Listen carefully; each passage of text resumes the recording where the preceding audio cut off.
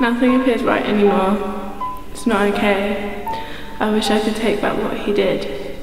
Now nobody wants to know me. I hate feeling so alone. I'm stuck in my own world because he put me here. I know it's not late in my head, but in my heart it's already over.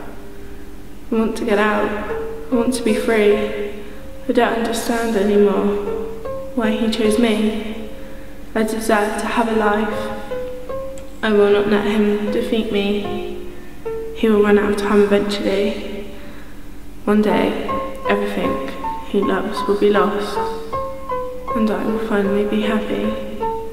The end.